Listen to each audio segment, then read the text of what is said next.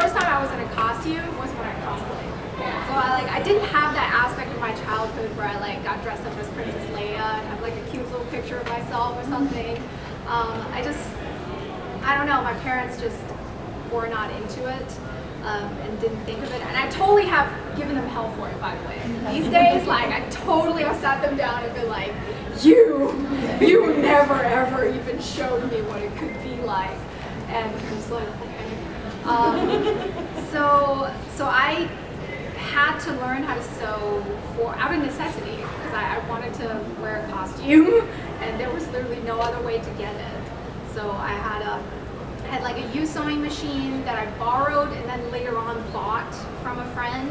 And um, they taught me how to do a straight stitch and do a zigzag stitch. And they taught me how to read a pattern, although I didn't understand it. I didn't understand the pattern, but they, they showed me that you can use a pattern and then lay fabric under it and cut it out and make something.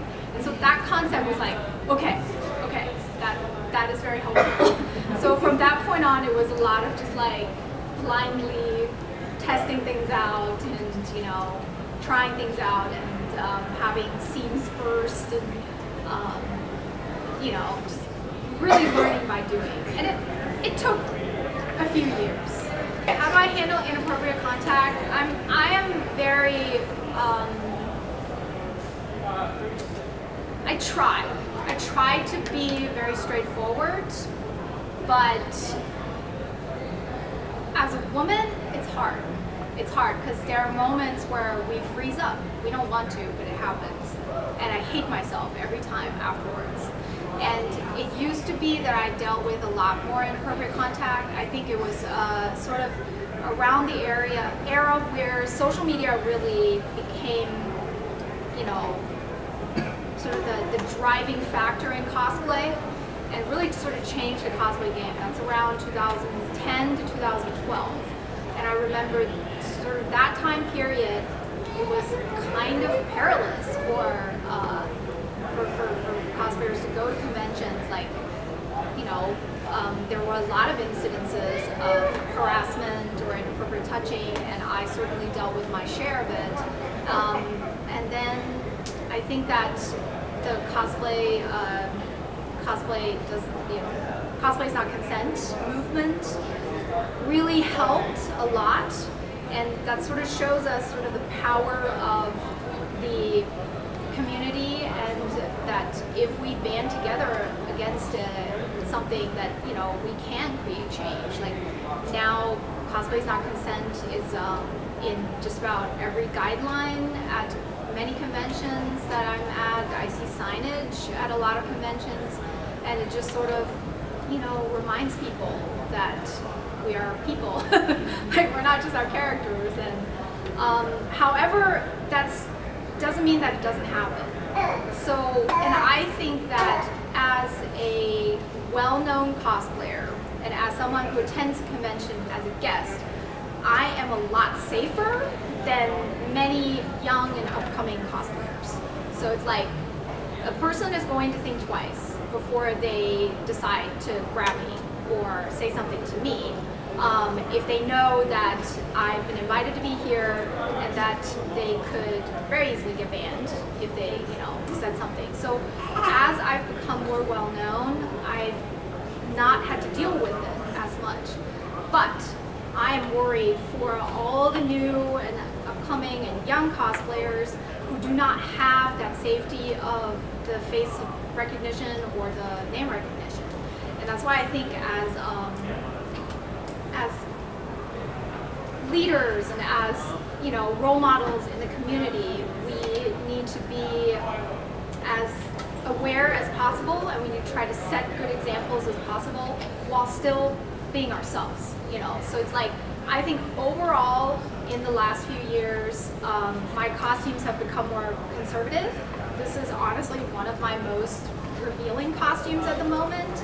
Um, I used to run around in fur bikinis such as like Felicia from Darkstalkers, or you know, like almost like fetish gear, like uh, Christie from Dead or Alive. And these days, like I'm aware that the, the you know the image that I have um, affects other people. And I also work with um, companies like uh, Joann's and McCall's and such. So I try to think of myself as more than just I'm just gonna do whatever the heck I want me happy and what is fun because I can still have fun and find things that make me happy within the community and thinking about the community. So it's a it's a tough topic and I hope that if you know any cosplayer experiences harassment that they do not that they do not stay silent like you know anybody if there's no security near you just uh, go up to the, the next vendor that, that is near you or just any congoer. And um, you know like make sure that you report them. Make sure that you like hey you saw that right? You know like you have a witness somebody who saw this. And um, really like show that it's not okay. So cosplay is not consent. We need to keep supporting it you know practice it. My advice and the way that I do social media is um, I I have a platform that I like, and that's currently it's Instagram. That can change, by the way, because social media platforms evolve. Like it used to be Facebook. Facebook was a great platform, and then they changed it. so, so right now I like posting on Instagram. Um, sort of like I just it, it's sort of it's the it's the platform that pops in my head if I want to communicate some information. So find the platform that suits you you know. and I feel like as you play on them, you'll, you'll like instinctively be able to tell if one of them sort of calls out to you or makes it more fun to interact. So stick to that platform.